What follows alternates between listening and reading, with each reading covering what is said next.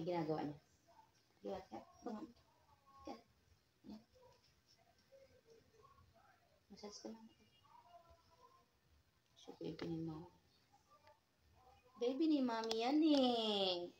Alam niyo ba kung gaano kamahal ni mami yung baby niya, ha?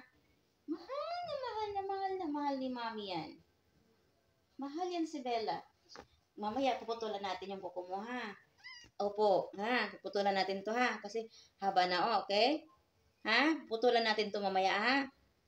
Okay, sumasagot siya. Tapos yung dalawang kamay yung puputulin natin, ha? Bella? Hindi kamay, yung ka, ano, kuko. Okay? Sige, bye-bye na. Guys, puputulan ko yung kuko ng aking Bella. Miming meow. So, meron tayong cutter. Ayan. Halika, Bella. Come here. Come sa mama. Sino pong ating Bella Putput? Putulan ng kuko, ha? Bella? Putulan ng kuko, ha? eh, eh! Hmm? Eh? Putol ko ko. So guys, putulan natin ang kuko niya guys. Ah, kasi kasi masakit na siya eh. Okay, yan lang. Huwag lang natin putulan ng sobra guys, no? Yung matanggal lang yung sakit ng kuko niya kapag kasi ginigising niya kasi ako guys, tapos nakakalmot niya yung ano, kahit marahan, syempre matalas yung kuko niya. Hmm. Eh, eh, eh, eh, eh, hmm. eh, eh, Bella, ha? Hmm. Pag kailangan ko ng pangtali, guys. Para hindi siya ma, ano, ma, advice ko guys, balutin niyo yung pusa niyo guys para hindi siya makakalmot. Kasi ito, syempre ito yung paa niya na yung nasa baba. Yung sa, ano, balutin niyo yan siya para hindi makakakalmot sa inyo, no? Kasi masakit din yan.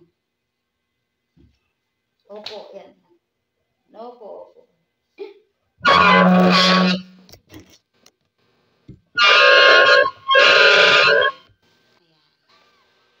Sige. Okay. So, yan. Putulin natin ulit siyang bela, ha? At tas konting uto-uto natin siya, guys, para hindi siya mangagat at hindi siya mang, ano, ayan. Ayan. Huwag lang masyado anuhin, guys. Uh, as in, putulan ng sobra. Kasi, baka ma, ano, tapos, ito sa kabila na naman, guys, no? Kasi masakit na eh. So, mabait naman yung bela ko, guys, kahit puputulan niyo yung buko niya. Yan nga lang, natatakot ako dito. Baka, pag nakita, katulad kayo, nakita niyo, di ba? Is, tingnan mo ang haang ang, ang talas o delikado.